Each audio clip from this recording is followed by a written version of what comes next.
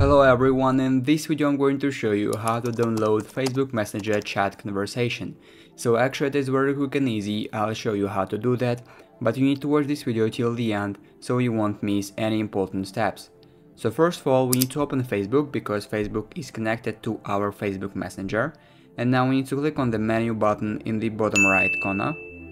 Now we need to go for settings in the top right corner to see the settings of our application here we need to scroll down a little bit until we'll find your information section and the second option here is download your information button. So click on it.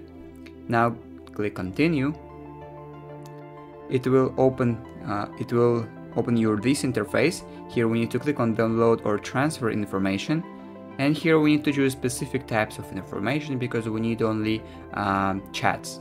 So click on the specific types of information now here we need to check uh, messages because we want to download only chat.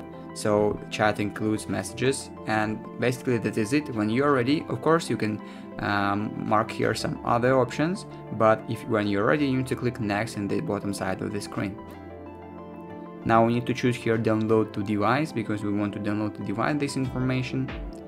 Now of course we can change the date range, for example if we click on it, we can choose it uh, to last week, we can set it to last month, or, but I will leave it for last year. Now we need to change the notify option here, click on it, and here we need to set our email address because to this email address all the information will be sent. So the downloaded chat, we can we will be able to download chats uh, from this uh, email email address. So simply type your email address here I will just type some random email address.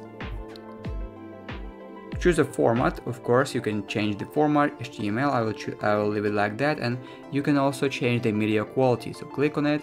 If you choose high quality, it may take longer to download, if you choose low quality, it will take slower, it will take faster to download, but I will leave it like medium.